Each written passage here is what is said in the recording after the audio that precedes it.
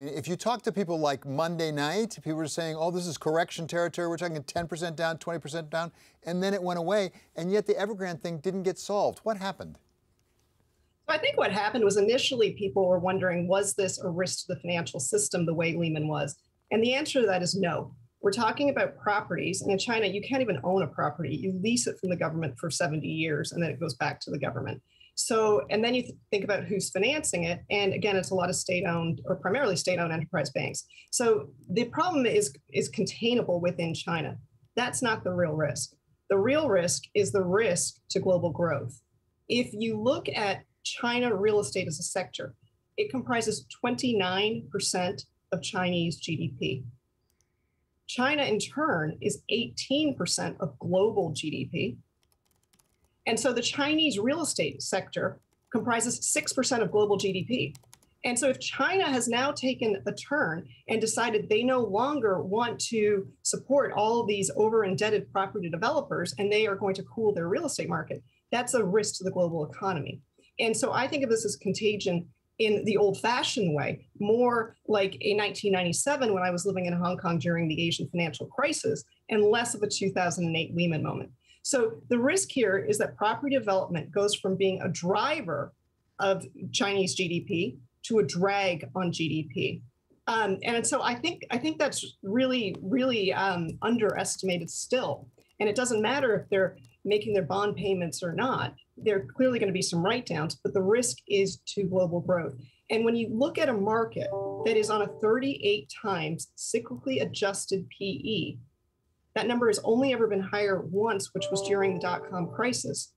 Any risk to growth is a risk to earnings and multiples. And so when markets are expensive, you want to think about what can go wrong and not focus on what can go right. So I don't think we're through the Evergrande um, scenario yet. Um, and, uh, you know, in, if you have a slowing of global growth, you are going to have increased quantitative easing in 1997, what Greenspan did was he lowered interest rates while the contagion went through. Powell doesn't have that option. So the two most important words from the Fed this week were if and may. And I think their estimates for 7% growth in Q4 are, are really high. I mean, it, you, that's what we experienced in, in Q2 when you know the, the, right. the fiscal spigots were open. So I, I think the risk is growth here. So, Gershon, let's go over to you on the fixed income side, if we could. Uh, if, if, it was Evergrande on the equity side that people were worried about, people were pretty worried, I think, about the tapering here. And yet the bond market just took it in stride, despite the fact that Jay Powell, I thought, pretty much said, yeah, we're going to taper. We're going to taper like November, December. Why isn't there the same fear of a, a taper tantrum this time? Well, I think it's important to focus on what, what really matters here. Yes, the Chair Powell surprised us by being a little bit more transparent. It, it, it, seems like they're going to taper, start tapering, absent something crazy happening in November. But that's actually not that important. What's much more important is when are they going to finish tapering? When are they going to stop buying assets? If you think about it, at this point in the economic cycle, it's not the buying of assets that is impacting the economy that much. It's the forward guidance that it, it that it's signaling the Fed is not going to raise rates until they're done buying assets. So they actually have to stop. And you know, you read between the lines, we're forecasting that they're going to end up tapering a lot quicker than they did in the 13, 14 timeframe. Um, this time, then they were doing about 10, tapering about 10 billion of treasuries and 5 billion of mortgage-backed securities per Fed meeting. We think it's more likely to be per month now, which means it would wrap up uh, sometime in the middle of next year. And the key there is it gives the Fed optionality. You know, Barbara's point is exactly right. We don't know what the we the Fed, when they're honest, doesn't know when they're going to start raising rates and how fast. What they want to set themselves up to do is to look at what happens over the next few months. You know, there's still two, two very big questions, and probably more, but the two very big questions that are unresolved are one, is this inflation we're seeing persistent? That's still open for debate. And uh, you know, what's the impact of growth going to be from the Delta variant, from China, from all the other things going on? And you know, based on how that that set of data comes in and the state of, of the world, they'll either be in a position where they won't do anything for the remainder of 22 and they'll kind of push off starting to raise rates, or they'll be able to start and maybe be very aggressive.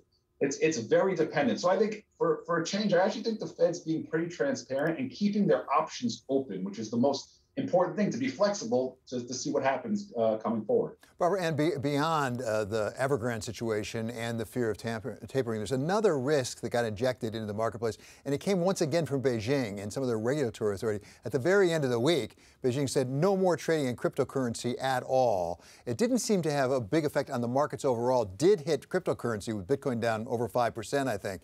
Uh, but what does it tell investors about China right now? Because it seems to be almost capricious coming out of President Xi these days.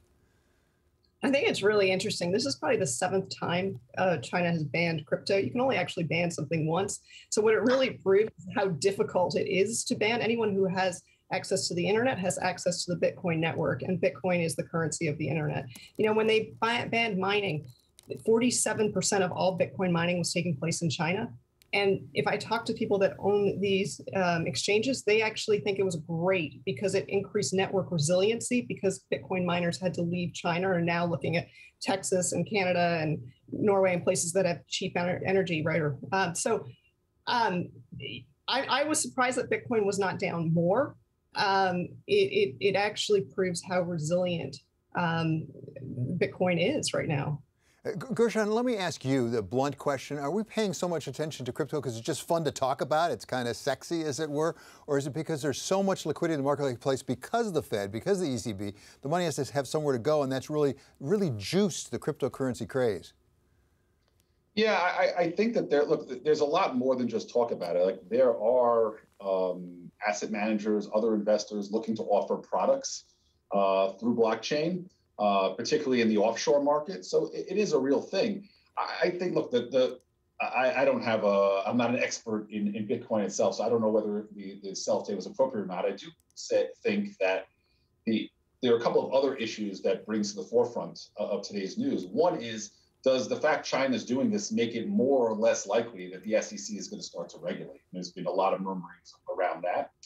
And the second thing is just a reminder to us that China can and will do unpredictable things, not just as it relates to Bitcoin, but you know what they're going to do in terms of, of the Evergrande situation is I, I agree with what Barbara said before. I don't think Evergrande itself is systematic. Certainly, the entire property sector is, and if that that could be a Lehman moment if they didn't take the proper uh, steps, but we believe that they will.